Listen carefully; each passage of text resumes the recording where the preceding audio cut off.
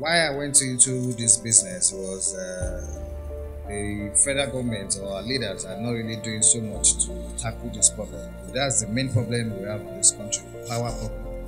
There's shortage of uh, electricity, even sometimes, which when it's available is very erratic.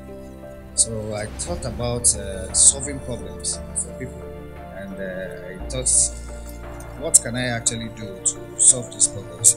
Then I I thought about going into alternative energy and renewable energy. With that, we've been able to solve problems for people, create uh, electricity for them at any time. You don't have to be dependent on the federal government. When I go out to visit friends or I go to areas which will actually giving them a solution of inverter or solar panels, uh, I'm really very glad.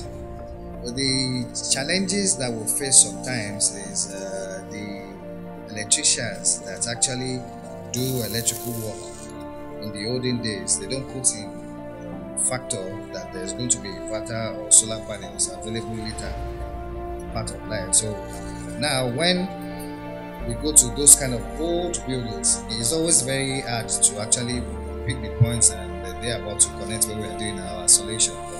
Now with the kind of uh, expertise engineers that we have now, because they, they will go through a process of being uh, going through electrical before they actually have to learn how to install.